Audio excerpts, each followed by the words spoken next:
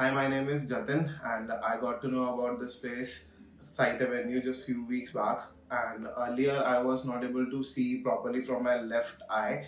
Uh, it was very blurry earlier, and when I just came here, it was just a it, it was just a just I got to know that it is very blurry just because of the keratoconus, right? And after the after this thing, and uh, doctors have added a ring, and I've gone through the C3R process. And after the complete surgery, it is very nice. Means I can see very clear. And earlier it was very blur, but now it is I can see very very clear now, and it is very good that I can actually feel that it is very enhanced in my vision. Thank you.